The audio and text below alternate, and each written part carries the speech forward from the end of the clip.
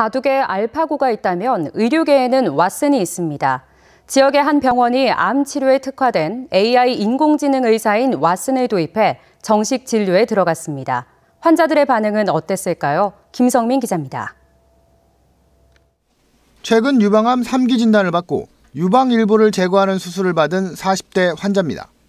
재발을 막기 위한 항암 치료 약물 선택을 위해 인공지능 의사인 왓슨에게 질문을 합니다. 환자의 나이와 의료 기록, 검사 결과 등을 입력하자 왓슨은 어떤 약물이 환자에게 적합한지 알려줍니다. 주의사항이나 부작용은 없는지, 항암 치료 시 또 생존율은 얼마나 되는지도 알 수 있습니다. 각 분야의 의사 5명이 왓슨이 내놓은 답과 비교했는데 일치한다는 결과를 얻었습니다. 천만 페이지가 넘는 500여 종의 의학 관련 자료를 검색하는데 10여 첩밖에 걸리지 않습니다.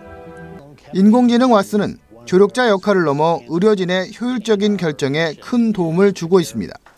최신 의학 정보를 알 수 있어 환자들이 멀리 수도권으로 발품을 파는 불편이 사라질 전망입니다. 선진화된 의료들을 우리 지역에서도 접할 수 있다. 그런 중요한 툴로서 왓슨 폰 콜로지가 이번에 도입됐다고 보시면 되겠습니다. 반신반의했던 환자들도 만족한다는 반응입니다.